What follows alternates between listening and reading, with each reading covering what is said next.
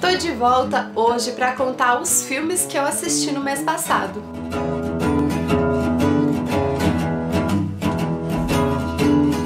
Oi gente, tudo bem? Eu sou a Nini e hoje eu tô aqui para gravar a coluna Resumo do Mês, que é a coluna onde eu falo sobre os filmes e as séries que eu assisti nos últimos tempos. Em julho, como estamos sem Netflix, não rolou assistir série, mas eu assisti vários filmes legais, são cinco filmes, quatro ou cinco filmes, são cinco filmes que eu vou conversar com vocês aqui nesse vídeo, então vamos começar. Então, gente, o primeiro filme que eu vou citar aqui no vídeo que eu assisti em julho é o Oblivion, que é um filme de ficção científica estrelado pelo Tom Cruise, aliás, como muitos filmes de ficção científica dos últimos tempos. E pela primeira vez eu consegui pegar ele do, do início ao fim, eu assisti ele no canal Sci-Fi. E bom, eu gostei da história, é, eu acho que é um filme que consegue trabalhar bem essa ideia de uma catástrofe que se abateu sobre a Terra, então os humanos deixaram de viver aqui. E no contexto dessa história, então, tem sempre um casal que faz uma espécie de policiamento em algumas áreas e são auxiliados por robôs. Mas o que eu gostei mesmo do filme é que existe ali uma comunidade de humanos rebeldes, né, que não deixaram a Terra. E essa parte do filme não ganha tanto atenção quanto algumas outras partes que eu não achei tão interessantes assim. Como o dilema da companheira, né, desse cara que é interpretado pelo Tom Cruise, que em determinado momento começa a achar o comportamento dele estranho, é bem diferente daquilo que eles estão indicados a fazer. E eu gostaria de ter visto mais a história concentrada nesse grupo de pessoas que ficou por aqui, como essas pessoas conseguiram sobreviver depois da catástrofe.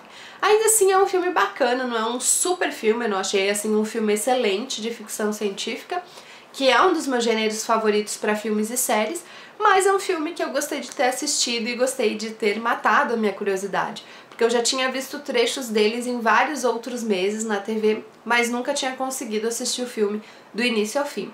Então, se tu gosta de ficção científica, vale a pena dar uma chance, mas não espera também um filme incrível ou que vai mudar a tua visão sobre o segmento, né, sobre o gênero, que não vai ser isso, mas para entretenimento eu acho que ele funciona bem. O próximo filme que eu vou citar para vocês aqui no vídeo foi o meu super favorito do mês, inclusive eu fiz um post sobre ele no blog, que é o Paciente Inglês. Eu vou deixar o link aqui embaixo para quem quiser ler a minha resenha, mais ou menos assim, e por que, que eu gostei tanto desse filme.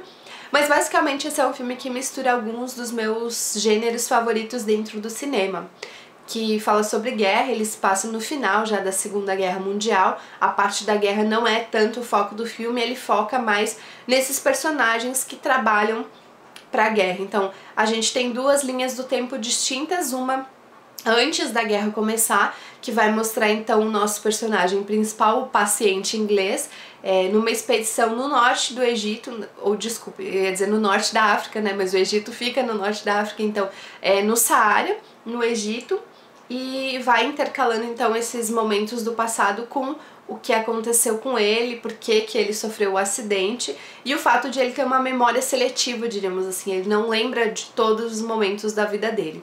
Então a gente vai acompanhando a história sendo contada do passado, como esse cara é, conheceu a mulher que mudou a vida dele e que ocasionou também, de certa forma, um acidente, e vamos acompanhar no presente a vida dessas pessoas é, tem um desarmador de bomba, tem militares, tem um cara que era sócio de outro personagem que é importante para a trama e sofreu tortura.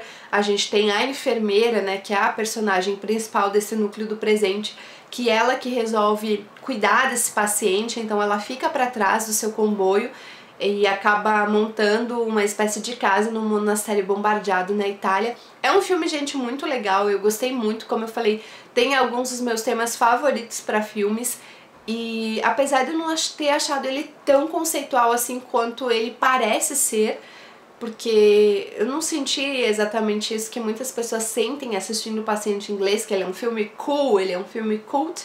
Eu achei ele mais interessante realmente por misturar as linhas do tempo e por amarrar muito bem a construção dessa história de forma que a gente tem alguns mistérios ali, a gente tem algumas dúvidas, tem um certo suspense até o final do filme.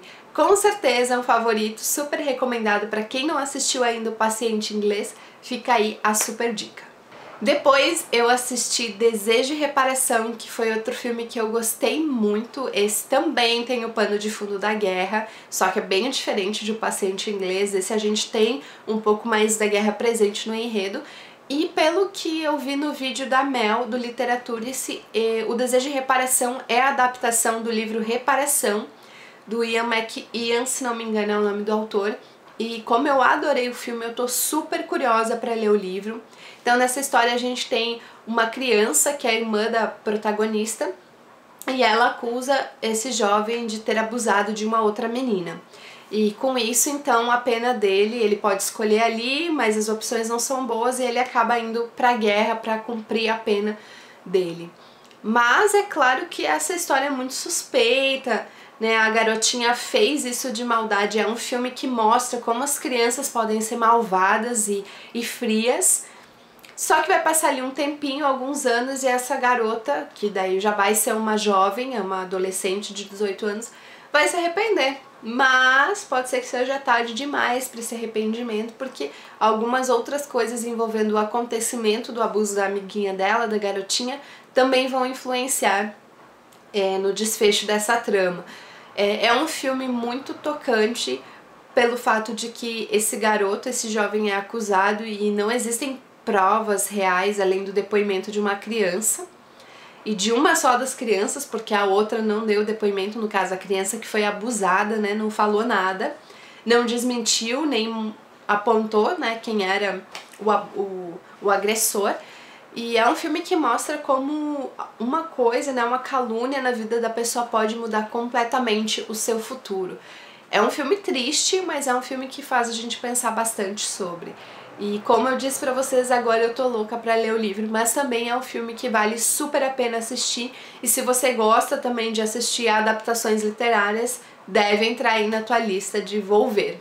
O próximo filme que eu assisti foi Julia, Julie and Julia, que é um filme que é mais ou menos baseado numa... Mais ou menos não, ele é baseado numa história real, que é a história dessa mulher, né, que ela já tá ali nos quase 30 anos, ela tá com 30 anos, eu acho, quando o filme começa, e ela tinha planejado a vida dela de uma forma e ela acaba não seguindo exatamente por isso. Então ela se propõe um desafio, que ela vai fazer todas as receitas do livro da Julia Child, que foi uma mulher que revolucionou a cozinha americana na época, trazendo receitas francesas para as mulheres que não tinham empregadas domésticas.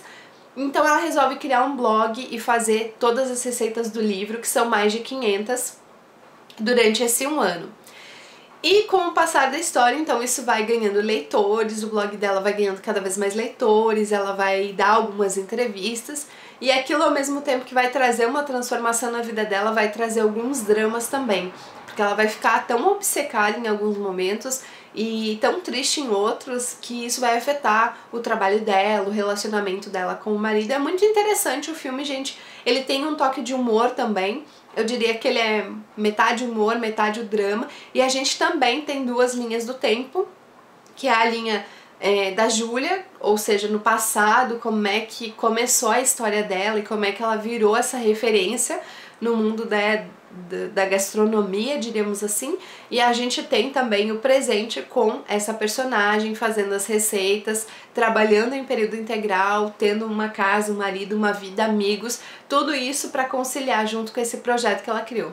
Vale muito a pena para quem tem blog, eu achei que o filme inspira bastante, principalmente naquelas épocas que a gente está desanimado, porque a personagem realmente coloca isso como meta, e no filme ela fala que é importante ela estabelecer esse prazo de um ano, porque todos os outros projetos que ela começou ela não conseguiu terminar, é um problema que ela tem de terminar é, ciclos, terminar projetos. É muito interessante, eu gostei bastante do filme, apesar dele também não ser um filme assim marcante no sentido de que vai mudar a tua vida ou vai se tornar um favorito, mas eu acho também que vale super a pena. E para terminar, o último filme que eu assisti em julho foi Erin Brockovich e tem mais uma mulher, eu não sei como é que ficou o título dele em português, mas vai aparecer a capa do filme aqui. E esse é um filme também, gente, muito legal, conta a história dessa mulher, ela é mãe solteira e tem três filhos, e ela vai ajudar, vai trabalhar num escritório de advocacia como auxiliar. E aí ela vai começar a descobrir que uma empresa de saneamento ali do caso que eles estão trabalhando é, pode ter envenenado os moradores dessa localidade com alguns é, componentes químicos que eles usam para tratar a água. E ela vai fundo nessa investigação e isso vai transformar a vida dela de uma forma que ela nunca imaginou, porque ela vai se afeiçoar com essas pessoas, ela vai querer descobrir o que de fato aconteceu, porque que tantas pessoas daquele lugar é, tiveram e têm doenças graves e tudo isso por consequência de um possível né, envenenamento, mesmo que não direto, mas assim, a empresa se omitiu em contar isso para os moradores.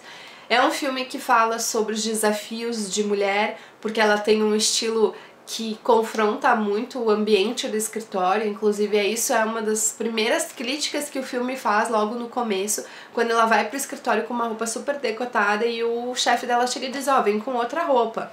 O pessoal não tá se sentindo muito bem. Ela enfrenta ele e diz, não, essa é a roupa que eu tenho, a roupa que eu gosto de vestir e é assim que eu vou me vestir até o final.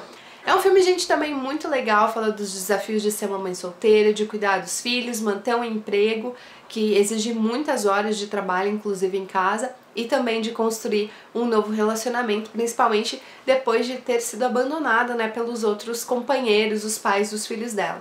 Eu adorei esse filme, é um filme que ganhou também vários prêmios e eu achei a Julia Roberts perfeita para esse papel, com certeza. Também um filme que eu recomendo demais para quem ainda não assistiu.